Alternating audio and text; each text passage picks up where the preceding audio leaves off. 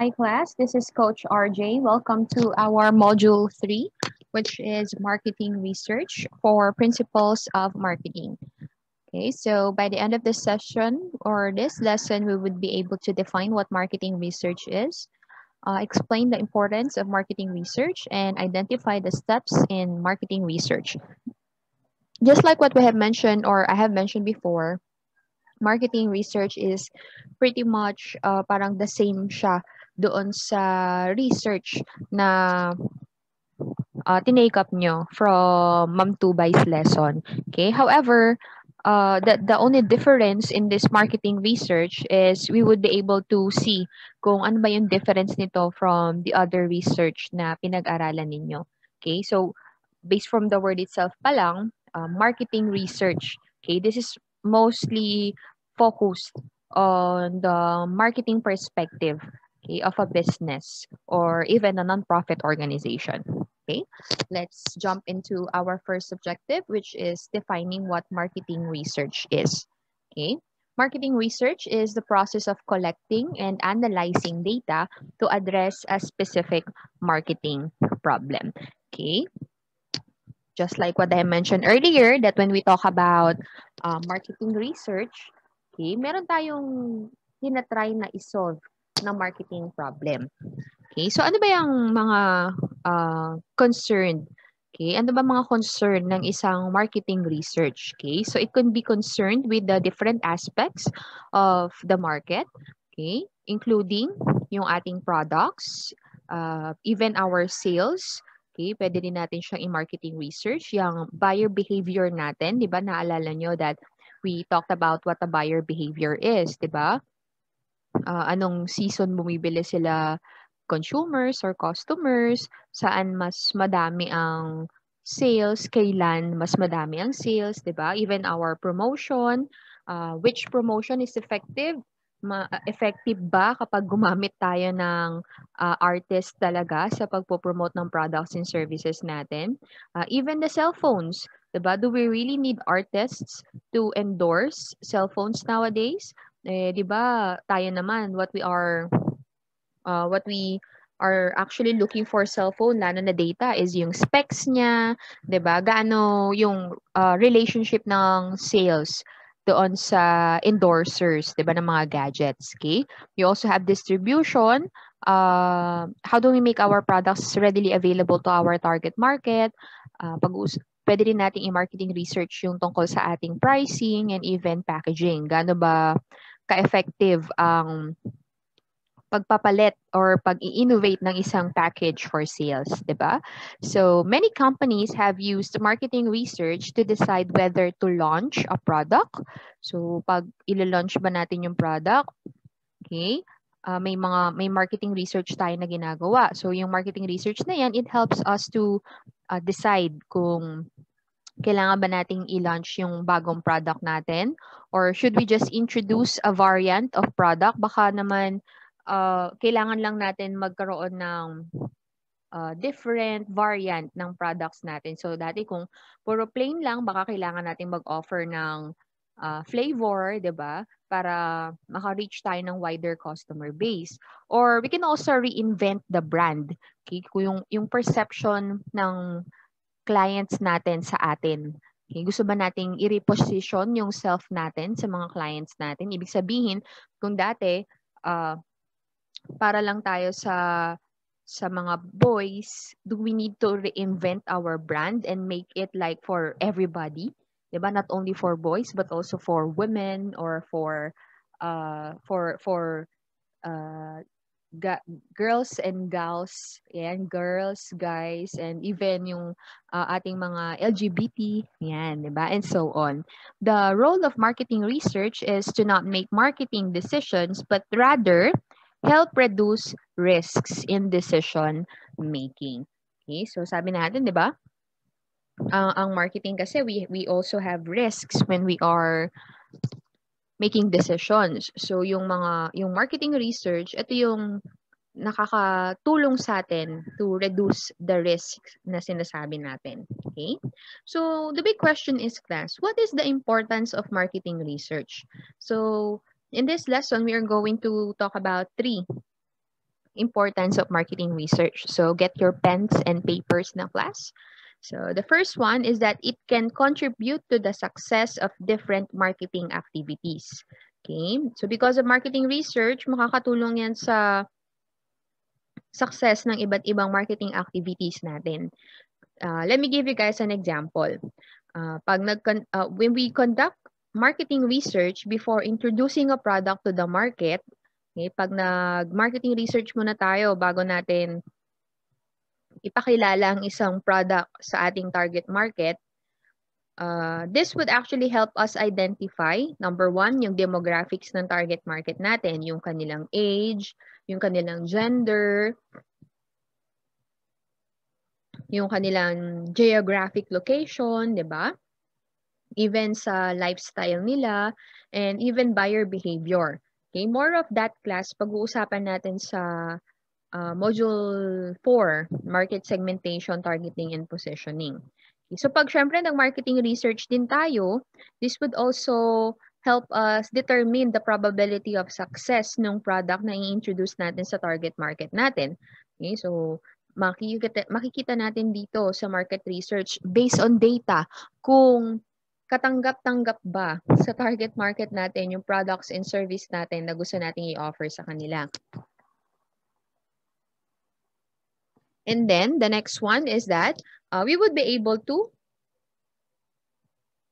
think of alternative courses of action. So paano kung uh, hindi pala mababa ang probability of success kapag nag-introduce tayo ng products or service natin dito sa uh, target market natin ito. So because of this marketing research, this helps us marketers avoid potential loss. And kapag may mga issues na pwedeng mag-occur, pwede natin siyang ma-iron out. Okay? Then the next one class is that marketing research can help update marketers regarding the competitors' activities and strategies through comparative studies. Okay, so syempre hindi lang naman natin uh, titingnan yung ating mga target market but also we would take a look at our competitors. So paano yan natin gagawin? Through comparative studies. So the results of the research will enable them to devise ways to improve their competitive advantage. Yung result ng data natin, ng research natin, makakatulong sa atin para makaisip tayo ng mga strategies natin para ma-improve natin yung ating edge against sa ating mga competitors. Okay. The third one class is that it can also help us determine aspects of the business that is needed to be changed or even upgraded. Okay. So, hindi lang target market, hindi lang yung competitors natin. So, syempre, uh, makakatulong din sa atin yung marketing research so that we would be able to see what is needed to be improved in our products or services. So it may even indicate the need for an organization to improve our marketing strategies, uh, update our products or services, and review our business plan. It can also help us identify opportunities and new areas for expansion yan, yung marketing research. Diba? Kita nyo kung gaano ka-importante yung marketing research sa atin. Uh, let me give you an example. You guys are familiar with Lego, right? Yes, it's it's normally a toys a toy for boys. So, yung Lego in a company study, na-create sila ng study, it revealed that only 9% of the current active Lego households have females as primary users of the toy. So, 9% lang. Class, 9% lang. Okay, 9% lang pala ang uh, mga female users sa Lego nung nag-conduct sila ng marketing research. So, ang ginawa ng Lego because of that is that they conducted a four-year global research with 3,500 girls and their mothers to find out what would make them more interested in playing with Lego products. So, nag-conduct sila ng marketing research uh, na meron silang 3,500 respondents na girls together with their moms and para malaman nila kung paano ba magiging interested yung mga moms o yung mga baby na girl para maglaro ng Lego products. So based on the resu results of its research, Lego launched Lego Friends in 2012 as an answer to target markets preferences. O because of that, di ba? Kung dati, uh, pang boys lang sila, nag-conduct sila ng marketing research na meron silang respondents na mga girls para ma-identify nila kung ano ba yung magiging, uh, paano ba magiging interested yung mga young para maglaro din ng Lego. Kaya si Lego, nung after nung study nila, nakatanggal yung data nila, nag-come up sila ng isang, nag-come up sila ng bagong product or ng variant ng product ng Lego na Lego Friends. So, hindi lang siya pang boys, but also pang girls din. Diba? So, we have another one. You guys are familiar with Apple, right? So, tech giant Apple has a marketing research arm. Apple Customer Pulse. Okay, ang ganda ng pangalan. Apple Customer Pulse. Diba? Parang, diba, pag pulso, lagi yan tumitibok, 'di ba? Okay? So, which they they conduct online surveys about Apple products. So, yung data na generate na generate nila from the surveys have been helpful in creating products and modifying existing designs. So, sometimes yung mga businesses, they they actually have a marketing research team. Okay? So, sila yung responsible para mag-gather ng mga data kung ano ba yung mga data na kailangan natin para once again, makapag-innovate tayo ng mga products and services natin. So just to recap, importance of marketing research, uh, it can contribute to the success of our different marketing activities. It can help us update regarding our competitors' activities and strategies. And uh, we can also enable this to devise ways on how we would be improving our competitive advantage. And it would also help us determine, okay, the aspects of business that is needed to be changed and upgraded. And then the last one is we because of a marketing research, it would also help us identify opportunities and new areas for expansion. Okay, now let's take a look at the marketing research process. Okay, nalaman na natin kung ano ba yung marketing research and ano ba yung importansya nito, no, ng marketing research. So, ano ba yung mga process ng marketing research? So, we have five steps.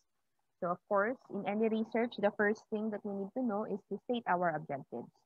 Then determine which research methodology are we going to use, gather our data, interpret the results, and then present the results. First, let's talk about stating the objectives. Okay. State the objectives. The marketing researcher should first establish the objectives of the research which will be basis for research questions. So, syempre, ano ba yung gusto natin na gusto natin na ma-solve? Which marketing problem should we actually solve? Okay, example niyan, class. Okay, ito yung magiging basis kasi natin ng mga questions natin, yung objective natin, right? So, examples niyan, where is the best location for my business? Okay, saan ba mating maganda ilagay yung uh, location ng business natin. That talks about distribution, placement, right? And some of potential research issues like yung ating research budget, size of the research project, and these objectives should be clear, concise, attainable, measurable, and quantifiable. So parang ano din siya smart, yung objectives natin, di ba? Tatandaan nyo, laging kailangan smart sa objectives. It should be uh, specific, measurable, attainable, uh, reliable, and of course, time-bound. Okay? Now, defining the objectives aids the researcher in designing a market research process. Helps him or her avoid setting conflicting expectations and gathering irrelevant data. Okay? So, di ba, sa questionnaire dapat yung mga questions natin talagang related siya sa objectives. Hindi pwedeng yung may matanong ka lang. Okay? Kasi nga, syempre, yung, yung gagamitin kasi natin na data sa ating, ah, yung gagamit, yeah, yung data na gusto natin gamitin from our marketing research would be used for improving our business. Eh, ba't ka maglalagay ng question na wala namang relation sa objectives natin? So, dapat, again, kailangan lahat ng questions mo would have a would have a connection with your objectives. Kaya ngayon yung una natin in the process, stating your objectives. Okay? So the second one class is determine the research methodology. Okay, determine the research methodology. The researcher should choose a combination of appropriate research methods to fulfill the research objectives. Okay, so i-discuss natin yung mga research methodology under this process. Kailangan daw makapili tayo ng combination kung ano bang method yung gusto natin na gamitin para sa ating mga research objectives. Okay, so i-discuss natin tatlo, the research methodology that may be adapted as to manner of gathering the data, okay, which is primary and secondary. Methodology based on the type of information to be gathered. Should it be quantitative or qualitative? And then also methodology based on the type, type of study. Should it be exploratory, descriptive, or casual research? Okay, so una, pag-usapan muna natin yung primary and secondary. I'm pretty sure that you guys already have a, back, uh, a background of this one since this was also discussed during your research subject with Ma'am Tibay, right? So, nag, ano lang natin siya, um, balikan lang natin siya. Okay? So, methodology based on the manner of gathering data.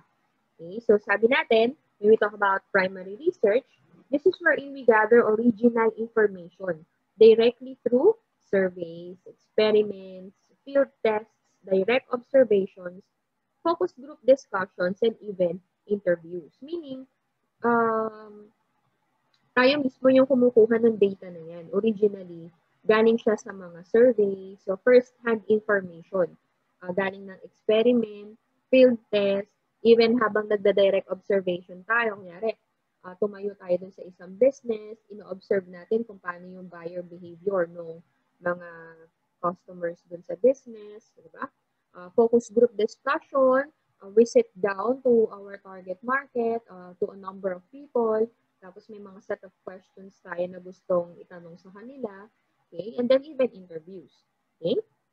Pag sinabi naman natin secondary research class, this is wherein it uses previously published information. So, ano yung mga examples ng previously published information? So, yung mga materials on the internet, yung mga nire-research natin. We also can use existing marketing research results, data from the company's tops list, and customer databases, and also information from external organization, kagaya ng mga industry bodies, tsaka mga government agencies. So, uh, that's the first one, uh, research methodology that you can use in the matter of gathering information you can either do primary research or secondary research. Pero maganda kung both, di ba? You have up your primary research, tapos may secondary research ka pa. Mas maraming data, mas maganda. Di ba? Kasi that would actually help you uh, decide kung ano ba yung mga dapat natin gawin. Okay? So, methodology or research methodology may also be based on the type of information to be gathered. Okay? So, it could, uh, it could be quantitative research or qualitative. So, balikan natin ulit yung definition class pag sinabi natin quantitative. Okay? It involves numerical data, kaya nga quanti, di ba? Numer may numerical data siya. So, ano ba yung mga numerical data na pwede natin mag-gather uh, in a marketing perspective? So, yung customer return frequency, gaano kadalas ba siyang bumili ng products and services natin? Sales figures, how much is our sales from last quarter? Okay, how much is our sales from the previous five years? And even financial trends. Okay, so this type of research can be used to understand the demographics of our customers, identify the size of the market, and even discover areas for sales growth. Maganda to kasi quantitative research. May number siya. May numerical data tayong tinitignan. Okay? On the other hand naman, pag sinabi natin qualitative research, di ba? Quality. Di ba? Kanina quanti, numerical. Pag sinabi naman natin qualitative, this mainly studies views and attitudes okay, in relation to the company's products and services. Okay, so sa, paano natin kinukuha yan? Okay, saan natin kinukuha yung quali? Kasi kung kanina, numerical data, itong quali medyo tricky siya kasi nga, views and attitudes yung pinag-uusapan natin dito views and attitudes towards the products and services. So this may involve yung mga focus group discussions with our clients and even potential customers and reviews of competitors. Okay? Then the next one class, syempre kung met, yung methodology natin can be based on a manner of gathering information or in a manner of information to be gathered, pwede rin naman na sa type ng study. Okay? So pag sinabi natin exploratory research, this involves reaching a better understanding of the research problem and identifying the variables to be measured. This can be done through trial studies, interviews, group discussions, and even experiments. So kaya nga siya tinawag class na exploratory based from the root word explore. Diba? So nag nagkakandak tayo ng uh, this research methodology, paano natin siya ginagawa, nag, nag-explore tayo. So, minsan, nagta-trial study tayo, we conduct interviews with mga clients natin, uh, kagaya din ng focus group discussion, uh, we sit down with, with our, with a group of people na nasa respondents natin, tapos, we also do experiments. Kunyari, mga social experiment, yeah, mga ganyan. That's, that's what exploratory research is. Kaya nga siya tinawag na explore, diba? Based from the root word. Okay? Then the next type of study is descriptive research. Okay? So ano naman ibig sabihin nito? This means that describes it describes marketing or marketing mix characteristics and the extent of association between variables. Before conducting this type of research, the researcher must already have a good understanding of the research problem through prior exploratory study. Ibig sabihin yung class, dapat si researcher, uh, meron mo na siyang prior exploratory study before siya mag-descriptive research. Kasi when we do descriptive research, we are actually answering the questions um, what, how, when. Yan, pag descriptive research siya. So example, um, may, may primary data ka muna uh, nag, nag kumuha, gumawa ka ng, ng questionnaire so that you would be able to get a primary data.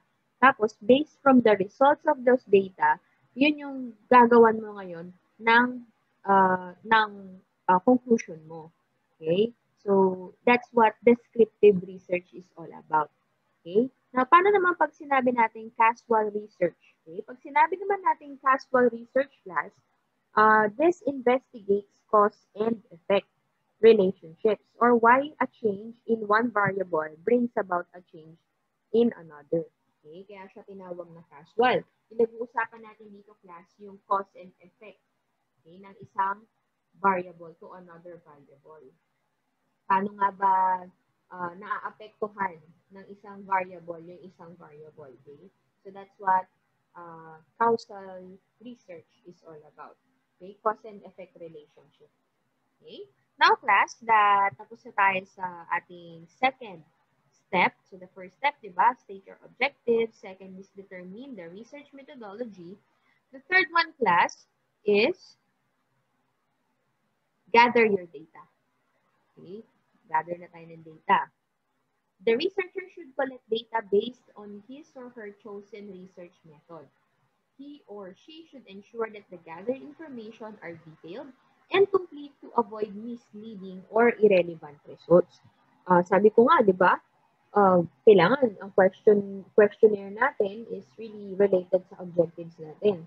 Huwag tayo magtatanong ng questions na hindi siya connected sa objectives. Otherwise, yung data na makukuha natin is irrelevant sa study na kinakonduct natin. Okay? Companies can also gather data through their marketing activities. So, paano ginagawa yan? Example, yung mga online surveys na included sa mga company websites so that they would be able to use customer feedback. Another example sa mga focus group discussions na pinafacilitate to consult selected customers regarding the effectiveness of a campaign material. Okay, kunyari, gaano ba ka-effective yung commercial? Okay, kunyari, sabi mo, oh, paano, paano niyo po nalaman itong product na to? Na, sa commercial po ba? Nirecommend po ba sa inyo? Diba? Gathering data. Okay? Fourth class is interpreting the results. So, syempre, kapag meron ka ng data na nag-gather, uh, di mo naman itatago lang sa computer mo yan. Kailangan, i-analyze mo yan. Interpret your results. Tingnan mo kung ano yung um, relationship from one variable to another. Di ba? Sabi natin, after collecting the data, as a researcher, you should be able or you should be now ready to interpret them. Ito yung pinaka-fun way. Ito yung pinaka-exciting na gawin, di ba? Kasi ano kayang sasabihin ng result natin, di ba? To select an appropriate statistical tools for quantitative data, the researcher must figure out how many samples are to be compared, whether these samples are related or unrelated to one another, and also the levels of data measurement. So, example niyan, yung mga frequency of items, ranking of items.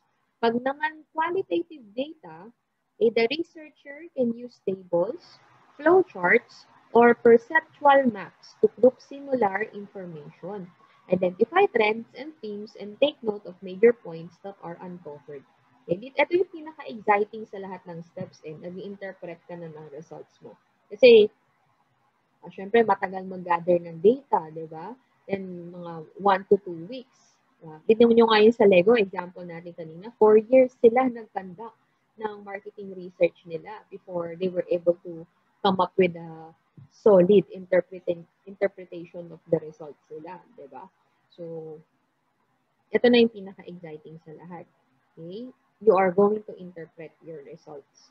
It should be emphasized that only data that corresponds to the company's needs should be interpreted to formulate relevant conclusions. Kasi kapag nakapag-interpret ka na ng results mo, uh, from there, you will be able to identify kung ano ba yung dapat ba tayong mag improve ng products or services natin? Should we remove a product? Should we remove a service? Diba? So, yan yung uh, gusto natin naman sa interpreting results. So, syempre, right after interpreting results, kunyara, nakapag, nakakita na tayo ng results, ah, ito pala dapat. The next step, okay, in the marketing research process is also presenting your results. Interpreted data can be presented in a textual report with graphs, charts, tables, and figures. There should be a comprehensive documentation of the entire research process so it can be helpful reference for the firm's future decision making. Okay. Ito naman yung pwede kang mag-ano dito, pwede ka naman maging creative sa pagpe-present ng results mo. So, syempre, if you were able to come up with the results of your uh, if you're data gathering, the next step is how are you going to make it presentable for those users? So remember na ang mga users natin could be our investors, our customers, our uh, mga managers natin, di ba? Kasi meron tayong internal users saka external users. Okay? So, yung mga manager natin. So, we have to present that result sa mga decision makers. Kaya dapat, uh, yung reports, no, na ipepresent sa kanila uh, only says what is needed to be seen. Okay? So, dapat ipapakita natin kung ano ba yung dapat na makita. Okay? Emphasize kung emphasize yung mga important data na kailangan nilang malaman. And then, emphasize din kung ano ba yung mga actions na dapat natin gawin para um, ma-achieve natin yung gusto nating ma-achieve. Okay? So once again, class, let's take a recap. Okay, let's take a recap on the things that we were able to discuss for this module. So we were able to define what marketing research is, right? So marketing research is the systematic and objective research for and an analysis of information relevant to the identification and solution of any problem in the field of marketing. Then we were able to talk about the importance of marketing research, right? We discussed four. And then also identify the steps in marketing research, okay, which is statement of the objective, determining the research methodology, gathering your data, and interpreting the results and presenting the results. That's pretty much everything for our marketing research class. Thank you so much for listening, and then I'll see you guys in our synchronous session. Bye!